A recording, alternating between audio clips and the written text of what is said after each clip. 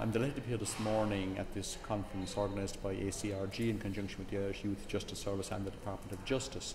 I have responsibility for uh, developing youth justice policy and um, this conference is, a sold out event, uh, huge interest in it, a lot of energy there. Uh, we've had some great speakers this morning and some thought provoking themes. Um, the workshops are ongoing now, and again, we have again people are pushing out the boundaries there, looking at different ways of approaching youth justice, in particular prevention.